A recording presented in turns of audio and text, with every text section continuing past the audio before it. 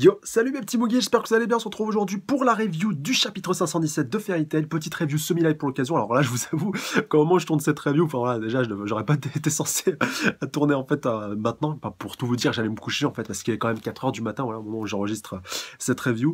Et voilà, directement le chapitre qui vient de sortir, qui vient d'être traduit. Donc bon, je, suis bien content quand même malgré tout, même si euh, voilà, j'étais un petit peu surpris. Bon, j'avais vu que la VU était, sortie, donc je me doutais que la VF allait pas trop tarder. Je me disais quand même malgré tout, bah j'ai attendu quand même quelques heures, mine de rien.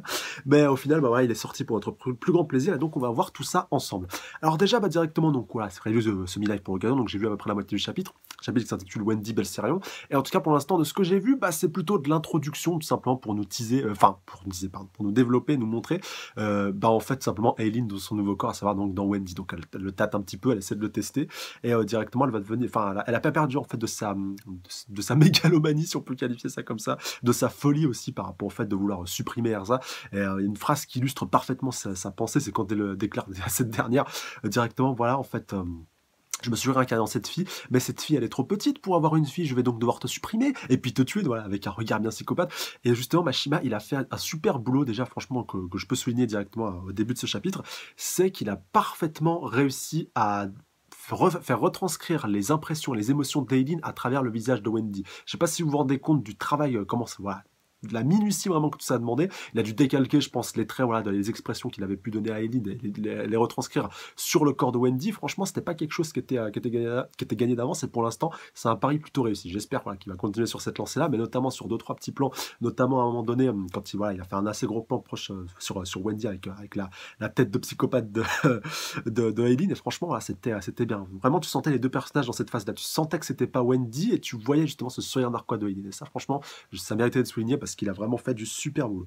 Alors du coup, alors après, qu'est-ce qu'on peut aussi souligner bah, par rapport à notre nouvelle Wendy, donc euh, notre nouvelle Aileen, voilà. D'ailleurs, moi, je sais pas ce qu'on pourrait demander, donc comment on pourrait l'appeler euh, l'appeler directement, parce qu'en plus Wendy Belseron, donc voilà, un petit peu des deux. Est-ce que c'est la nouvelle Wendy ou c'est la nouvelle Aileen Bah, Wendy Belseron, elle s'appelle Wendy, donc on va dire la nouvelle Wendy quelque part, ça sera, ça sera un petit peu plus probant.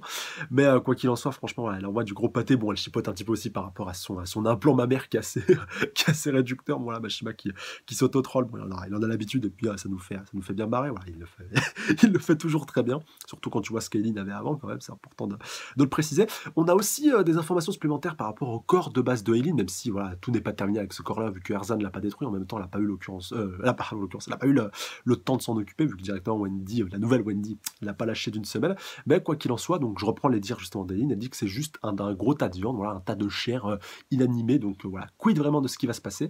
Et contrairement à ce qu'on pouvait supposer ou spéculer, comme je vous l'avais dit à la fin de la du chapitre précédent, on n'a pas eu un switch justement, un échange de corps, donc à moins voilà que Eileen nous ait menti qu'on n'ait pas eu encore une fois de confirmation ou autre, ou qu'elle décide de cacher cette information pour qu'Erza se débarrasse du corps d'origine pour euh, totalement bloquer Aileen, parce que c'est vrai que ça serait, un petit peu réducteur, et limite j'ai envie de me dire c'est mieux de garder le corps de de côté, parce que voilà, imaginez dans le pire des cas, que justement Wendy arrive à reprendre le dessus, ce qui devrait immanquablement, je pense, je pense se passer. Après, oui, il peut toujours se passer quelque chose de, surprenant de la part de Mashima, surtout à, ce moment-là justement du manga, et encore plus avec Aileen.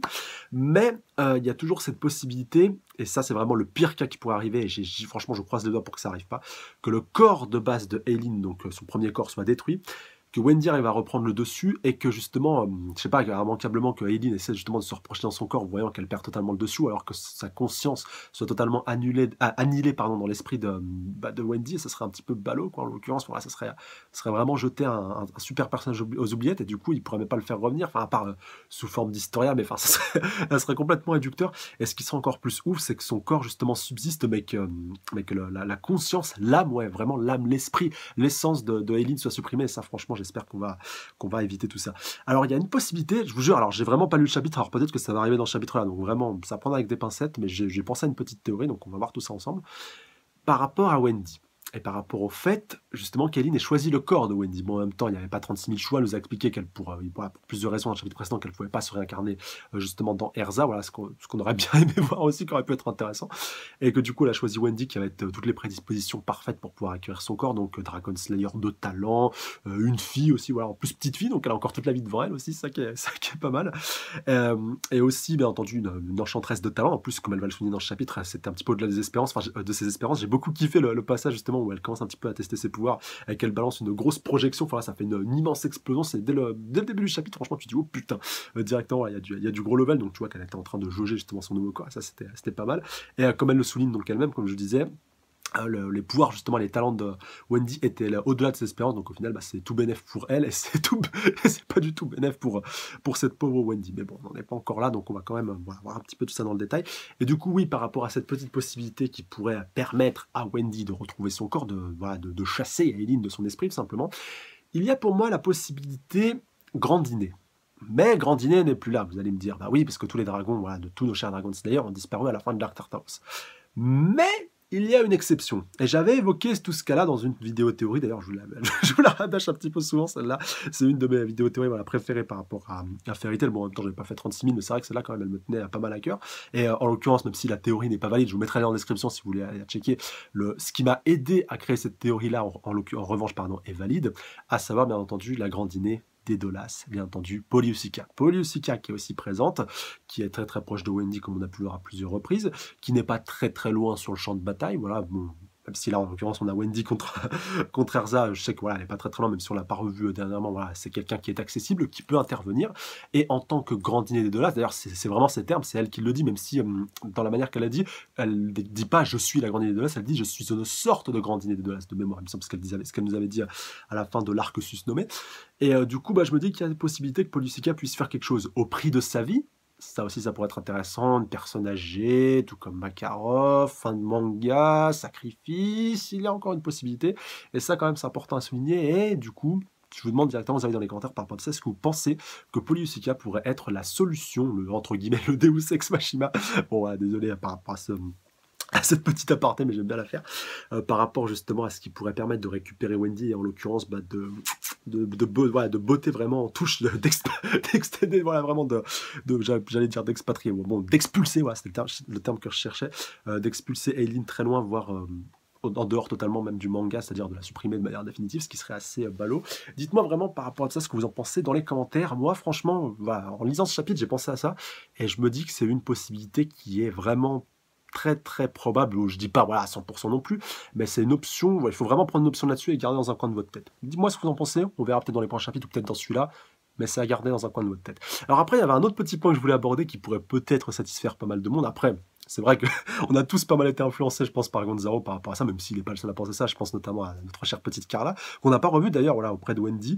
Et peut-être la possibilité. Alors justement, je vous demande à vous dans les commentaires et à ceux qui sont peut-être un petit peu plus renseignés que moi sur la question, car oui, je vous le répète, je n'ai pas la science infuse. Euh, Carla, je sais, bon, que pas mal de monde, en tout cas chez nous, ne, l'accepte pas et que Gonzalo a contribué, voilà, en fait, que Carla soit, soit, soit, un petit peu mal aimée. Je précise que j'ai rien de particulier contre Carla. Bon, elle est un petit peu chiante, mais euh, moi, je me dis qu'il faut faudrait bien un Nixid qui puisse finir avec Happy. Donc, je me suis le cas échéant, voilà, Carla, ce serait bien vu que c'est une des plus euh, une des plus connues, si ce n'est la Lixide la plus connue. Mais euh, du coup, je me suis posé cette question est-ce que Mashima ne se servirait pas d'Aileen pour supprimer Carla? Alors, pour du coup, pour que cette petite théorie soit valide, il faudrait que Carla soit autant détestée en France que voilà, au Japon, ça serait un petit peu plus probable, et que du coup, pas mal de monde ait envoyé des, des, voilà, des lettres de recommandation à Mashima, mais tue Carla, on supporte pas Carla, on la tue pas, et que du coup, Mashima se sert de cette petite pirouette pour essayer de la buter, ou alors peut-être de nous faire croire, de fin de nous la faire buter, parce que ça, voilà, Mashima, on a souvent la, la bêtise en ce moment, c'est vrai que depuis Makarov, vraisemblablement, il il est revenu sur des plus sérieuses, mais dites-moi ce que vous en pensez. C'est une possibilité aussi, la, la petite Carla, donc faudrait voir tout ça. Et aussi, il y a aussi voilà, déjà cette idée-là de la, de la, faire tuer, mais au même titre que Polysica, Carla peut aussi peut-être avoir un rôle à jouer pour justement faire ressortir la vraie Wendy à l'intérieur de cette dernière. Et peut-être que ça pourrait aussi passer, euh, la, théorie du sacrifice de Polysica serait aussi valable pour, euh, pour Carla. Donc dites-moi vraiment ce que vous en pensez dans les commentaires par rapport à tout ça. Et euh, j'insiste vraiment par rapport à cette idée de sacrifice, par rapport au lien justement déjà qu'on peut tisser entre les Dragon Slayer et bien entendu les, voilà, leur dragon qui leur était affilié, les euh, donc potentiels aussi Dragon Dolas avec justement Polypsycha, et surtout bah, les Exit qui sont directement affiliés à chaque Dragon Slayer. Donc je ne vais pas tous vous les résister, mais vous savez bien que tous nos chers Dragon Slayer ont des Exit qui leur, qui leur sont attribués. Certains ont établi justement des théories euh, assez farfelues par rapport à tout ça. Je pense notamment, alors je sais pas si elle est américaine, mais bon, elle fait ses vidéos en anglais, donc euh, Nina 2119, donc je pense que tout grand fan de Fairy Tail la connaît un petit peu en ce moment, qui a fait franchement pas mal de théories, et notamment une par rapport à Happy qui serait Acnologia, enfin voilà, il y a un c'est un petit peu plus complexe que ça. Euh, les vidéos, justement, il y a, y a le sous-titrage participatif parce qu'elles sont traduites en français, donc vous pouvez aller checker. Je sais que Gonzalo avait donné son avis là-dessus, qui était pas trop d'accord. Moi, je vous avoue quand même que voilà, je, ça, je garde l'idée dans un coin de nos parce que c'est vrai qu'il y a, voilà, il y a pas mal de, petits parallèles. Euh, qu'on peut faire entre les deux, mais que justement c'est intéressant. C'est un avis à prendre. Chacun pense encore une fois à ce qu'il en veut. Et euh, voilà, franchement, ça, ça peut être intéressant. J'aimerais bien avoir votre avis aussi par rapport à ça dans les commentaires. Et même si voilà, ce ne sont pas des réincarnations à proprement parler des dragons, il, y a vraiment fort à parier qu'il y a un lien entre les Dragon Slayer et les Exit. Ça nous a trop, ça a trop été montré par Machima en avant pour que ce soit quelque chose simplement d'anodin pour nous dire ah bah en fait tu vois tous les Dragon Slayer ils ont un animal de compagnie ou ils ont un Exit de compagnie. Non, je pense qu'ils vont avoir un rôle à jouer et qu'on verra bien entendu tout ça en temps et en heure. Du coup, on va pouvoir reprendre la lecture du chapitre. Alors je me suis arrêté à un moment qui était assez intéressant avec euh, avec Wendy euh, qui en l'occurrence nous faisait, euh, enfin la nouvelle Wendy pardon. Il faut que je m'y fasse ou je dirais à Eileen. Je suis sûr à un moment donné peut-être que je vais lâcher l'affaire. du coup, qui s'était servi d'une magie d'enchantement c'est vrai, bah, voilà, quand, vraiment quand j'ai vu ça, je me suis dit putain, mais c'est vrai en fait, et on avait totalement zappé, bien entendu par rapport à la magie d'enchantement des, armures d'Erza en fait simplement. Alors, je dis pas qu'Erza est une enchanteresse, mais qu'elle utilise une magie qui met en avant l'enchantement et qui, euh, qui, est fondée sur le principe de l'enchantement. Attention, ça veut pas dire vraiment, j'insiste là-dessus, qu'Erza, euh, pardon, est une enchanteresse, mais bien entendu, bah, comme le dit euh, très bien ici Wendy, enchantement de l'armure, explosion. Donc en l'occurrence que voilà, tout ce que Erza c'était servi pour pouvoir justement switcher avec ses armures, et bah elle, elle cache justement cet enchantement-là, et du coup, en l'occurrence, et bah ça casse un petit peu tout son, tout ce qui fait un petit peu sa force, et ça, franchement, c'était une scène assez cocasse et qui méritait vraiment d'être soulignée. Du coup, je me suis arrêté à cette explosion-là pour voir ce qui allait euh, ressurgir, et puis surtout voir si Erza allait pouvoir combattre sans ses armures. Bon, on l'a vu à combattre à plusieurs reprises sans armure, hein, c'est pas le problème, mais c'est vrai que ça serait un certain handicap, surtout face à quelqu'un de la trempe d'Aileen, et encore plus avec le corps de, hum, dans, le corps de Wendy. Et d'ailleurs, j'ai pas trop insisté sur ce point-là, mais je vais le faire maintenant, euh, par rapport au fait que justement Erza doit combattre Aileen dans le corps de Wendy, et que surtout elle est certain, voilà, certaines euh, réticence à vouloir la combattre parce qu'elle est en train de blesser son corps. En plus, Mashima avait insisté sur ces points-là pour montrer que le corps de Wendy était déjà pas mal souffrant avec sa blessure à la cuisse, voilà, un peu partout sur le corps, mais en même temps, elle avait enchaîné les combats. Mais voilà, comme quoi, ça aussi, c'est un autre point à prendre en considération qui va encore plus complexifier la tâche d'Erza pour pouvoir, euh, pour pouvoir la combattre. Voilà, c'est, pas simplement tu dois affronter ton adversaire et le, voilà, limite jusqu'à le tuer. Là, tu vas devoir l'affronter, limite la mettre aux portes de la mort pour ensuite pouvoir trouver un moyen de l'exorciser. En plus, elle n'a pas encore ce moyen-là euh, pour, pouvoir, euh, pour pouvoir réussir à la libérer. Donc, c'est vrai que est dans une situation assez complexe et assez compliquée, on va pas se le cacher. Du coup, on reprend donc directement là où je m'étais arrêté, alors page suivante. Donc, alors par contre, ah, alors ça c'est intéressant. Alors j'ai bien fait de commencer ma action live maintenant. Les dégâts sont faibles. Alors en l'occurrence, bah ouais, elle a toujours son armure sur elle, visiblement, même s'il y a eu deux trois petites, deux, trois petites craquelures, voilà, qui font un, petit peu office de fan service, on va pas se mentir. Alors renforcement, donc euh, bien entendu, euh, Wendy, euh, Aileen, pardon, est un petit peu surprise. Renforcement de toutes les capacités de résistance Deus Corona. Quoi? Alors si nous, ouh, il y a quelqu'un qui s'est pointé. Qui c'est qui a fait ça? Une enchanteresse déjà. Est-ce que ma théorie sur Polyosica va se terminer maintenant? Non, c'est quelqu'un qui semble avoir les cheveux longs. Ouh, mais ce serait peut-être... Est-ce que c'est Melody? Ou Melody, si tu veux le qualifier comme ça. Ça fait longtemps qu'on l'a pas vu, et avec cette chevelure assez longue, ouh, je, je, lance les paris. Une tenue assez, assez sombre, Allez, je lance les paris. Allez, je dis, je dis Melody. Sans, trop trop de conviction, vraiment juste en me basant sur les, sur les détails visuels plutôt que sur le, le dialogue, mais pourquoi pas, on va voir.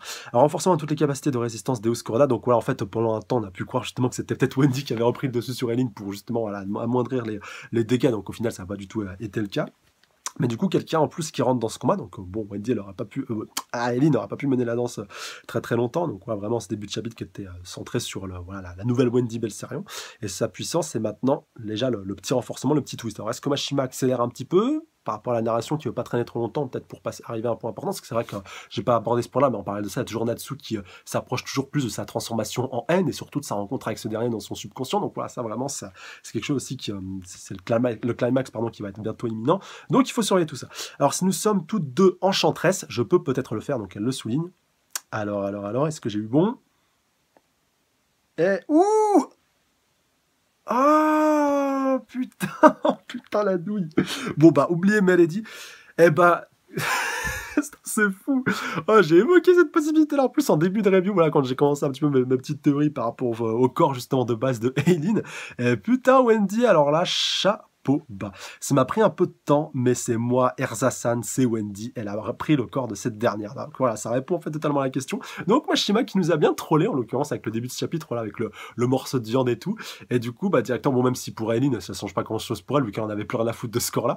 Mais en l'occurrence, bah, voilà, ça permet quand même à à Wendy de pouvoir combattre et de pouvoir récupérer le corps d'une enchanteresse. Et du coup, est-ce qu'elle va pouvoir avoir l'ascendant avec ce corps-là? Parce que, ou, ou, pas directement, ça aussi c'est une question que j'avais envie de vous poser.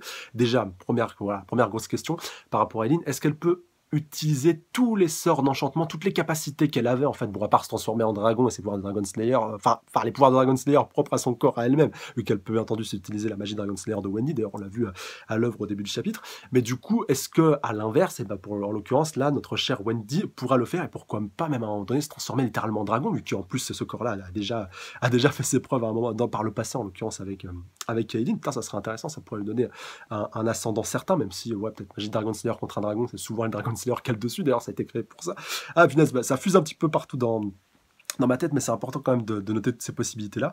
Et surtout, est-ce que Wendy pourrait potentiellement être plus puissante avec ce corps-là? Enfin, surtout quand on a vu toutes les capacités qui étaient à disposition d'Aileen justement par le passé. Enfin, à limite, pour moi, c'était pas, c'était pas vital non plus pour elle qu'elle change de corps. C'était vraiment elle qui, qui en pouvait plus, qui, qui frustrait à, mort justement dans, dans ce corps-là et qui en, en pouvait plus, même si voilà, elle avait ses, intentions comme on l'avait vu dans le précédent. Mais je pense que justement, peut-être voilà, que sur le paplard, on pense justement que c'est euh, euh qui a gagné au change, mais Wendy a peut-être aussi gagné au change. Donc on va voir tout ça. Alors, ça m'a pris un peu de temps, donc oui, bon, voilà, petite repetita. Wendy, impossible, donc voilà, vraiment, même Aileen qui est sur le cul. Donc c'est...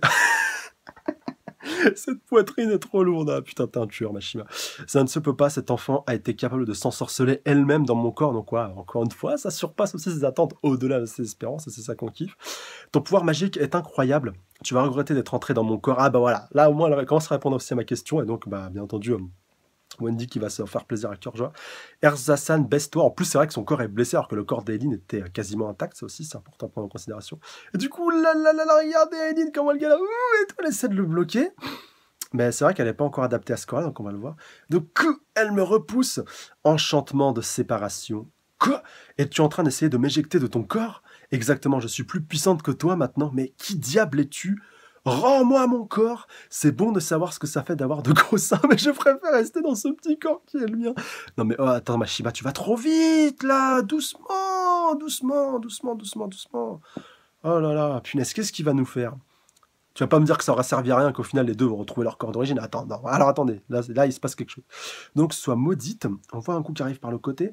Donc qu'est-ce que, même maintenant, tu veux toujours retrouver ce corps? Ah oui, ah, oh putain, elle est en train de s'automutiler j'ai. Et regardez son bras. Regardez sa main droite. Est-ce que c'est une, une, capacité qu'elle possède en tant que Dragon Slayer et le fait qu'elle se soit déjà transformée par le passé, à savoir de transformer son bras un petit peu euh, avec des, euh, des croix célestes, on peut le qualifier comme ça. En plus, on le voit bien, c'est pas, de mon invention, voilà, c'est pas une, figure de style que Machima a voulu, nous faire avec, avec l'effet de mouvement. Donc voilà, sa main elle est vraiment devenue, euh, devenue noire avec des croix serrées. En fait, elle est en train de la faire se, taillader pour qu'elle soit encore plus affaiblie que par le passé. Donc tu veux toujours retrouver ce corps, je ne te le donnerai pas. Pas maintenant que je l'ai enfin obtenu, je ne te le rendrai jamais. Ces blessures sur mon corps sont la preuve que j'étais vivante. Ils sont comme un ordre qui me demande de me battre pour Fairy Tail. Je me fiche d'à quel point celui-ci sera meurtri. Donc ouais, même si elle va, elle va finir euh, proche de la PLS, elle, elle, fera tout pour retrouver son corps. Et d'ailleurs, on la voit très bien, avec, même si c'est pas encore elle dans son corps, avec... Euh, cette petite image-là. À l'intérieur de ce corps, j'ai gardé les souvenirs des personnes précieuses que j'ai rencontrées. Wendy, alors attends, putain Attends, c'est quoi? Ouais, si, euh, c'est Eileen qui dit ça. Alors attends, elle a dû retrouver son corps si euh, elle s'est servie d'un enchantement de Switch, en l'occurrence, qui fait que, bah, que voilà, des changes de corps. Alors attends. Wendy. Donc, alors, bon, déjà, Eileen, visiblement, a l'air d'avoir retrouvé un peu ses esprits. Donc, Erzasan. Wendy, tu es de retour, oui. Est-ce que je peux te laisser le reste? Et donc, euh, voilà, bon, attendu, Erza qui va encore switcher au niveau de ses armures. Mais est-ce que du coup elle pourra, elle pourra reproduire le désenchantement Aileen? C'est vrai que ça sera assez surprenant, on va voir. Alors attends, bien sûr que tu peux. Ouh, je vais m'assurer d'en finir avec ça. Et Aileen, encore une fois, folle de rage, espèce de sale mioche. Et le prochain chapitre qui s'intitule Enchantement de maître, donc à mon avis, Aileen qui a vraiment pété un câble, à moins à moins que Wendy arrive à reprendre du poil de la bête, peut-être que Polyusica, encore une fois, se pointe, la soigne, pourquoi pas, ça pourrait être aussi une possibilité, et que du coup, ce soit elle qui exécute cet enchantement de maître, pourquoi pas, ça pourrait être aussi une, possibilité. Et du coup, petite note finale, alors attendez, lié par des liens écarlates et une haine noire, mère et fille. Donc voilà, bon, c'est vrai qu'on était pas mal focalisé sur Wendy euh, ce, pendant ces chapitres même, pour, même avant, avant, la pause, vu que le dernier chapitre datait d'un petit moment avec le, nouveau Wendy Belserion. Et du coup, je, je, peux pas m'empêcher de penser à un truc, mais est-ce que Mashima Alors après, peut-être que là, il l'avait prévu, mais est-ce que Mashima n'a pas eu peur du choix qu'il a fait? Parce que c'est vrai que ça n'avait pas fait l'unanimité, je me rappelle, quand le chapitre était sorti, même si moi, j'avais, salué, j'avais salué la performance, et justement, je trouvais ça intéressant. Et là, j'ai vraiment l'impression bah en plus, voilà, là vraiment, je vous l'ai dit, euh, juste avant qu'on arrive à la fin, je dis putain, non, pas tout de suite. Et là, c'est le cas en fait, directement à la fin du chapitre, on est revenu à la même chose. Donc, quelque part, le chapitre d'avant plus ce chapitre-ci, quelque part, ils servent pas à grand chose en fait, au final, parce que on revient à la même situation de base. Et ça servait à quoi? Simplement nous montrer que Aileen serait plus puissante que dans le corps justement de, Wendy qui est pur. Ah oui, j'aime bien aussi cette petite métaphore. Aileen, voilà, qui est la mère, qui a, qui a pas mal vécu, qui a, qui a un corps qui est modifié, a subi beaucoup de modifications et qui justement ne supporte plus son corps, ne supporte plus sa situation.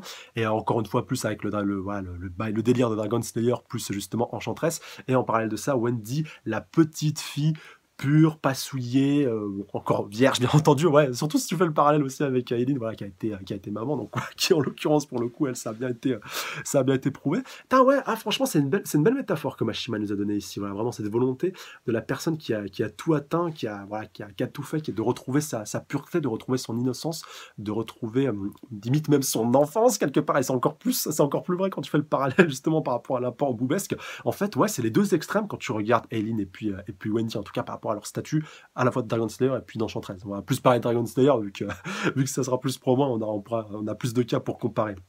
Euh, que des enchanteresses. Mais ouais, franchement, c'est une, très très belle figure de style que Mashima nous a mis, euh, nous a mis ici euh, en forme. Et franchement, ça, ça méritait d'être souligné. Même si c'est vrai qu'au final, bon, c'était mignon, c'était pas mal. Ça nous a permis d'apprendre justement aussi, voilà, déjà d'une part pour Eileen qu'elle était plus puissante encore de Wendy, mais aussi que Wendy était justement, voilà, pouvait déjà, voilà, vraiment des talents hyper, hyper élevés au niveau de, niveau de l'enchantement, même encore plus qu'on que ce dont on pouvait se douter. Déjà, de par justement le potentiel de son corps, comme on l'a vu avec, euh, avec Aileen, et aussi le fait qu'elle puisse se réenchanter dans le corps de, Aileen. Ça aussi, ça méritait de souligner. franchement, je suis, pas déconner, c'était pas n'importe quoi. Je suis juste un petit peu déçu que Mashima n'ait pas plus creusé la piste que ça. Après, voilà, peut-être que je m'emballe, peut-être que justement Aileen va pas lâcher l'affaire et qu'elle va peut-être euh, essayer de, refaire un autre switch, un nouveau réenchantement et tout, même si ça serait pas très intéressant vu comment elle avait blessé le corps de Wendy.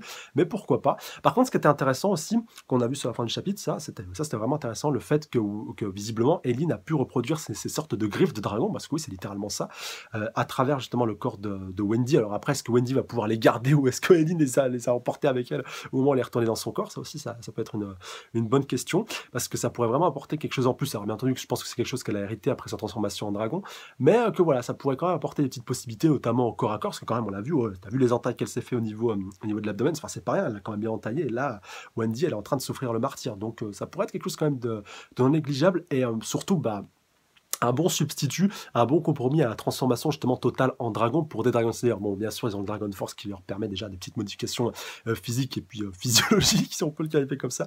Mais ouais, avoir des griffes en plus, franchement, ça peut être quelque chose de, très très utile. Donc dites-moi vraiment encore une fois ce que vous pensez dans les commentaires. Est-ce que ça serait cool? Est-ce que pour vous, vous pensez que Wendy, euh, c'est un petit quelque chose, un petit bonus qu'elle a gardé du transfert de justement de, voilà, du, petit switch qu'il y a eu avec Aileen et auquel cas, bah, ça aurait apporté vraiment quelque chose en plus par rapport à ce switch-là. Au moins, elle, aurait, elle serait ressortie de, cette, de ces deux chapitres-là avec un petit un, léger, un petit power up en plus, mais encore une fois non négligeable. On verra ça aussi dans les prochains chapitres, c'est encore un petit peu tôt pour s'emballer, mais euh, justement, ça serait vraiment intéressant que voilà, il y, a un petit quelque chose en plus qui a été apporté au corps de Wendy par le passage par là justement de Aileen, maîtresse en enchantresse, et aussi euh, voilà, première Dragon Slayer. En l'occurrence, pour l'inverse, voilà, pour le, corps de base de Aileen, bon, c'est un corps entre guillemets qui est un petit peu mort. D'ailleurs, Aileen, comme elle le dit elle-même, c'est un petit, euh, c'est un petit tas de chair voilà, qui sert à rien, c'est un morceau de viande. Donc voilà, le, corps de Aileen, à mon avis, ne, ne, bougera plus. Bon, à part quand cette dernière l'utilisera, et ça reste un corps très puissant, mais elle a déjà atteint justement, je pense, sa quintessence, son niveau maximal. Bon, déjà par rapport au fait qu'elle est plus transformée en dragon et qu'elle a retrouvé son corps euh, de, base, alors que celui de Wendy, justement, il, voilà, est encore pur innocent, il a commencé à être un petit peu modifié.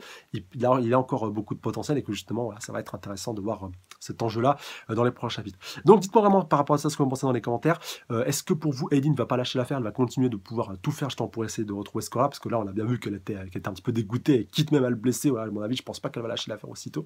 Donc, ce sera intéressant de voir ça dans les prochains chapitres. Donc, c'était pas un chapitre ouf non plus, mais j'espère voilà, auraient, que les deux chapitres, en l'occurrence celui-là plus le dernier, n'ont pas servi à rien et qu'on pourra voir justement voir le le résultat, le fruit justement de ces deux chapitres et de ces switches-là dans les, euh, dans les prochains chapitres directement. Mais en tout cas, bah, c'est de bonne augure pour Wendy qui est encore plus puissante que ce qu'on pensait au niveau de l'enchantement et ça, franchement, ça fait plaisir.